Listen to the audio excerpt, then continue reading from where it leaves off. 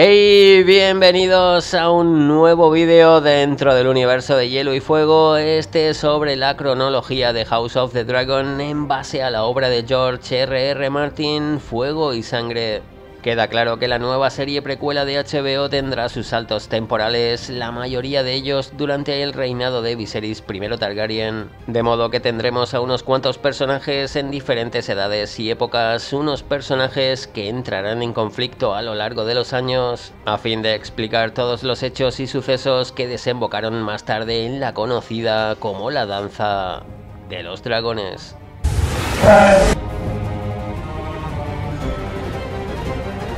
Pero como siempre vamos por el principio y si hay una fecha clave para empezar con la cronología de la serie, sin duda esa se trata del año 101 después de la conquista, donde tuvo lugar el conocido como el Gran Consejo de Harrenhal, un consejo este bastante importante para la historia, ya que en el viejo castillo de Harren el Negro los señores de Poniente escogieron al sucesor del viejo rey Jaeris I Targaryen con dos candidatos principales por encima del resto el príncipe Viserys, primogénito de Baelon el Valeroso y Laenor Velaryon, hijo de Rhaenys Targaryen, la reina que nunca fue, y Corlys Velaryon, la serpiente marina, un consejo este de Harrenhal, donde finalmente salió elegido Viserys, ninguneándose de nuevo los derechos de Rhaenys y sus hijos. Así, tras el gran consejo de Harrenhal del 101, el siguiente año importante ya fue el 103, después de la conquista, donde tuvo lugar la muerte de Jaeris I el Conciliador, y por tanto Viserys ascendía al trono de hierro un año este 103 en el que Alicent Hightower ya había llegado a la corte y había intentado acercarse al viejo rey, contando con tan solo 15 años, todo a instancias de su padre Seroto Hightower, mano del rey. En ese mismo año, Daemon Targaryen, hermano de Viserys, entró a formar parte del consejo privado de su hermano el rey, ocupando diferentes cargos como consejero de la moneda y consejero de los edictos hasta el año 104 después de la conquista. Es un año después, en el 105, cuando Viserys nombró a Daemon comandante de la guardia de la ciudad. Fue entonces cuando el príncipe canalla, fundador de los Capas Doradas, empezó a estar en su salsa, ganando rápidamente poder e importantes contactos en los bajos fondos de la ciudad, hasta el punto de ser apodado el Señor del Lecho de Pulgas y estar al mando de 2.000 capas doradas.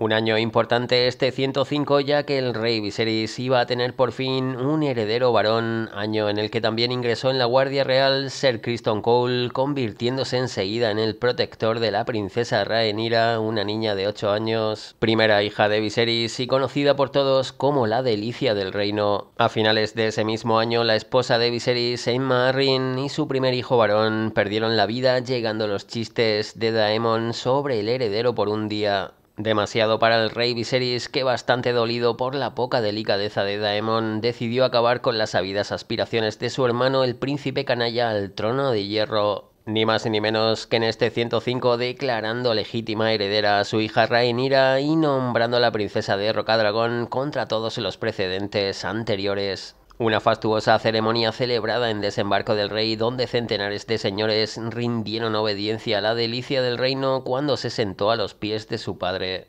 Ahí es justo cuando Daemon, furioso por la decisión, escapó a Rocadragón con su amante Lady Misaria, la que regalaba un huevo de dragón ganándose rápidamente la ira de su hermano el rey que le ordenó devolver el huevo, repudiar a Misaria y regresar al valle de Arryn con su primera esposa, Rhea Royce. Aunque Daemon no solo se ganó la ira del rey Viserys, sino también la de la mano Seroto Hightower, rival del príncipe canalla desde hacía tiempo. Un año después, en el 106, el rey Viserys se casó con su segunda esposa, Alicent Hightower, la hija de Seroto, la mano del rey. Una ceremonia en la que la princesa y la reina parecieron congeniar en un primer momento, aunque eso no duraría mucho. Por aquella época Rhaenyra tenía nueve años y Alicent dieciocho. El 106 después de la conquista también fue el año en que Daemon se alió con la serpiente marina para luchar contra la triarquía en los peldaños de piedra. Una guerra esta que se prolongó durante unos cuantos años más. Ya en el 107 después de la conquista, Viserys tuvo su primer hijo con Alicent, un niño sano llamado Aegon en honor al conquistador. niño al que siguieron otros dos, Elena en el 109 y Aemont en el 110. De esta manera la reina Alicent ya contaba pues con sus propios hijos, no hay que pensar mucho para saber que a partir de aquí comenzó el lío entre la princesa y la reina puesto que ambas aspiraban a ser la primera dama del reino convirtiéndose en rivales. A pesar de todo, Viserys nunca quiso modificar el orden en la sucesión, lo que en el año 109 provocó que el rey relegara a Seroto Hightower de su cargo como mano y ello precisamente ante las fuertes presiones que el rey recibía de su mano para modificar ese orden en la sucesión en favor de los hijos de la reina Alicent. Seroto dejaba así de ser la mano del rey y en su lugar Viserys nombraba a Lionel Strong señor de Harrenhal. El lío ya estaba servido y en el año 111 después de la conquista tuvo lugar el famoso gran torneo de desembarco del rey, un torneo que sirvió para distinguir a los partidarios tanto de la princesa como de la reina. Todo en base al color de los vestidos que ambas lucieron en el banquete inaugural, los negros de Rhaenyra y los verdes de Alicent. Por esa época, Rhaenyra solo tenía 14 años y Alicent Hightower 23. Un torneo en el que Sir Criston Cole, el gran partidario todavía de los negros, salió triunfante contando con el gran favor de Rhaenyra. Año ese 111 que también supuso el regreso de Daemon de sus luchas en los peldaños de piedra ofreciendo a su hermano Viserys su corona como rey del mar angosto. Tras ello, Daemon hizo las paces con Viserys y se quedó medio año en desembarco del rey hasta que la volvió a liar. Esta vez al intentar cortejar a su sobrina Rhaenyra, digamos la gran baza del príncipe canalla para llegar a lo más alto. Sin embargo, en ese momento lo único que consiguió Daemon fue cabrear otra vez a su hermano el rey, ganándose el exilio ya en el año 112 después de la conquista, y con ello regresando a sus luchas en los peldaños de piedra. Un año también ese 112 en el que Sir Criston Cole consiguió el puesto de Lord Comandante de la Guardia Real siete años después de ingresar en los Espadas Blancas. Ya en el 113 después de la conquista tuvo lugar el compromiso de la princesa Rhaenyra con la Enor, con lo que por fin se reconocían los derechos de los Velaryon y sobre todo de Rhaenys Targaryen, la reina que nunca fue. Sin embargo, como se recogen fuego y sangre, el rey y el consejo no se molestaron en consultar a Rhaenyra, que ya tenía 16 años. La princesa sabía cuánto había que saber sobre las inclinaciones de la Enor Velaryon y no deseaba ser en modo alguno su esposa. Y aunque su Alteza Viserys razonó con ella, le imploró, le gritó y la llamó desagradecida, ninguna palabra suya pudo disuadirla. Hasta que el rey sacó el asunto de la sucesión. Lo que un rey había hecho, un rey podía deshacerlo, se casaría como le ordenaba o nombraría heredero a su hermano paterno Aegon. Es decir, Rhaenyra se casó por obligación con la Enor Velaryon un año después. No resulta raro entonces que la princesa se buscara la vida con otros hombres como Ser Harwin Strong, el verdadero padre de sus hijos venideros. Tras el compromiso con la Enor también tuvo lugar la ruptura total entre Ser Criston y la princesa, seguramente porque Cole le confesara su amor a Rhaenyra y la Targaryen rechazara al caballero de la Guardia Real. Así en el 114 Rhaenyra Targaryen, princesa de Rocadragón, tomó por esposo a la Enor Velaryon con la princesa heredera ya instalada en la isla Targaryen. Poco después, Ser Criston pasó a ser el protector personal de Alicent Hightower con el nuevo salseo servido entre la princesa y la reina. En ese mismo año, el 114, nacía el primer hijo de Rhaenyra y Ser Harwin Strong, Jace Velaryon, junto con también el cuarto hijo de la reina Alicent y Viserys, un niño llamado Daeron. Y uno después, en el 115, moría Rhea Royce, la primera esposa de Daemon, dejando libre al príncipe canalla para continuar con sus juegos de poder. Esta vez uniéndose en matrimonio a Laena Velaryon, la hija de la serpiente marina, y Rhaenys Targaryen. A partir de entonces, el movimiento de Daemon estaba claro ni más ni menos que hacerse con el poder y el respaldo de la casa Velaryon. Un año el 115 en el que también llegó el segundo hijo de Rhaenyra, Luceris, unos niños que no se parecían en nada a su supuesto padre, Laenor Velaryon. Y ya en el 116 incluso Daemon tuvo con Laena a sus dos primeras hijas, las gemelas Baela y Rhaena Targaryen. Llegando así la segunda reconciliación de Daemon y su hermano el rey Viserys. Un año después, en el 117, la princesa tuvo al tercero de sus hijos con Ser Harwin Strong, Joffrey Velaryon. No hay dos sin tres, y a partir de ahí todavía se acrecentó más el odio entre los partidarios de la princesa y la reina. Un odio este que se acabó trasladando a sus hijos, sobre todo debido a la creencia generalizada de que los tres vástagos de Rhaenyra con la Enor Velaryon eran bastardos. Ya en el 118, con la bendición del rey Viserys, Rhaenyra anunció el compromiso de sus dos hijos mayores con las hijas del príncipe Daemon y Laena. Todo ello hasta llegar al crucial año 120 después de la conquista, donde tuvieron lugar las muertes primero de Laena debido a un parto fallido y después de Laenor Velaryon muerto a manos de su amante Calco Rey. Así llegaron los funerales en marca deriva con la corte trasladándose a Marea Alta, donde tuvo lugar la famosa disputa entre Aemont y los hijos de Rhaenyra a cuenta de Veigar, la increíble dragona que acababa de dejar libre la jinete de dragón Laena Velaryon. En ese mismo año 120, pues, Aemon Targaryen perdió un ojo a manos de Lucerys Velaryon, algo que el tuerto se guardaría más adelante contra el hijo de la princesa. Como vemos, todo ello siempre con el trasfondo de que los hijos de Rhaenyra eran bastardos Strong y no hijos legítimos de la Enor Velaryon.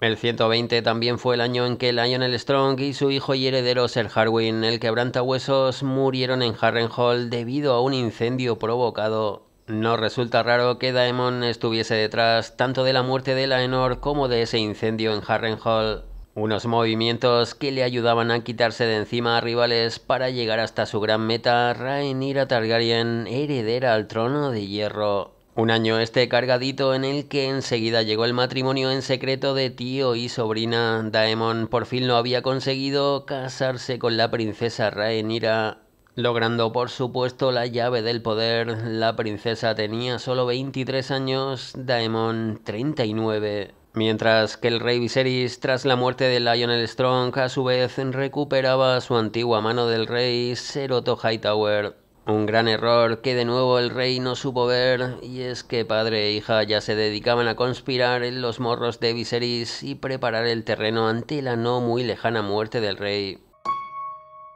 Un año este que se cerró con el nacimiento de Aegon, el primer hijo varón y Targaryen de pura cepa de Daemon y Rhaenyra. Ya en el 122, la princesa dio a Daemon un segundo vástago, este llamado Viserys, en honor a su abuelo el rey. Un año, el 122, en el que también Aegon y Helena, los dos primeros hijos de la reina Alicent, se casaron entre sí contando con tan solo 15 y 13 años respectivamente, como se nos cuenta en Fuego y Sangre. Apenas un año después, en el 123 después de la conquista, la princesa de 14 años dio a luz a unos mellizos, un niño al que llamó Jaeris en honor al viejo rey y una niña a quien llamó Yaera. Tres años después, en el 126, Viserys y Alicent enviaron a Daeron, su cuarto hijo Antigua, a servir como copero y escudero de Lord Hightower. Un año ese 126 en el que la serpiente marina cogió unas fiebres repentinas, abriéndose el problema de la sucesión de Lord Corlys y generándose una disputa entre los Velaryon y los hijos de Rhaenyra. Ser Baemon Velaryon protestó porque los derechos de herencia se los saltasen, alegando que los hijos de Rhaenyra eran bastardos engendrados por Ser Harwin Strong. Otra vez la misma cantinela, pero en esta ocasión Rhaenyra no tardó en responder a la acusación, enviando al príncipe Daemon para aprender a ser Baemon, cortarle la cabeza y entregar su cadáver a su dragón Asirax para que lo devorase. Desde luego Daemon y Rhaenyra no se andaban con tonterías y por esa época tampoco el rey Viserys, ya muy gordo y congestionado, que ordenó cortarles la lengua a todos los Velaryon restantes que seguían sosteniendo que los hijos de Rhaenyra eran bastardos. Un año después, en el 127, se celebró un último banquete entre los negros y los verdes. Estaba claro que Viserys siempre intentó mantener el equilibrio y unir sin éxito a la princesa y la reina. Una última reunión en la que incluso ambas llegaron a intercambiar el color de sus vestidos como señal de buena voluntad, pero una vez más solamente fue pura fachada delante del rey. Un odio encarnizado entre ambas que ya venía de lejos, algo que desde luego escapó a su control y más todavía a su muerte. En ese mismo año la princesa Elena también dio a luz a su tercer hijo con Aegon, un niño que recibió un huevo de dragón como era costumbre y el nombre de Maelor Targaryen. En los últimos años del reinado de Viserys, incluso el soberano estuvo a punto de morir de un corte profundo con las hojas del trono de hierro un rey que pareció recuperar un poco su vigor con la llegada a la corte del gran maestre Orwell. Sin embargo, tal como se apunta en fuego y sangre, tal recuperación resultó ser breve. Y la gota, los dolores de pecho y la falta de aliento continuaron persiguiendo al rey, todo hasta llegar al año 129 después de la conquista, año en el que su mano Seroto Hightower y su consejo privado ya tenían control total sobre el reino. Un año clave este 129 al que sin duda corresponden las imágenes con el último aspecto de Rhaenyra ya con 32 años, incluida la secuencia de la Targaryen en la mesa pintada de Aegon el Conquistador ya con el conflicto iniciado, secuencia en la que se nos muestra al Consejo Negro planificando la estrategia a seguir contra los verdes. El tercer día de la tercera luna del 129, la princesa Elena llevó a sus tres hijos a visitar al rey en su cámara, los mellizos Jaeris y Yaera tenían seis años, su hermano Maelor tan solo dos, y tras contarles una historia que los niños ya habían escuchado una decena de veces, entonces Viserys de la casa Targaryen, el primero de su nombre, rey de los Ándalos, los Roinar y los primeros hombres, señor de los siete reinos y protector del reino, cerró los ojos y se durmió. Jamás despertó Tenía 52 años de edad y había reinado sobre la mayor parte de Poniente durante 26. Y para que nos vamos a engañar, lo realmente bueno empieza con la muerte de Viserys y a partir de este 129 después de la conquista. A continuación estalló la tormenta y danzaron los dragones.